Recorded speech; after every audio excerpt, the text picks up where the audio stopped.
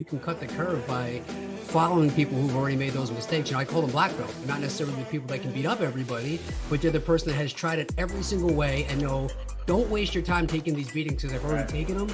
Do this and it's going to help you get there faster and safer. And to me, in any walk of life, that's an invaluable trait to follow. Well, that's a great point. I mean, half of it is what not to do as well, right? You go through an experience where oh, contractor took their money, they bailed. I mean, I made that mistake. You probably made that mistake. It is what it is. But now you know what not to do. So if you could then give that to somebody else, then hey, that's a huge lesson. You just saved them 40, 50, 60,000 dollars plus lawsuit. If you could actually look at that and take what not to do as well as what to do and put those together, you're going to be way step ahead. But you could make a lot of money real quick in this business. You could start today and make money tomorrow. This is probably one of the only industries that you can do that.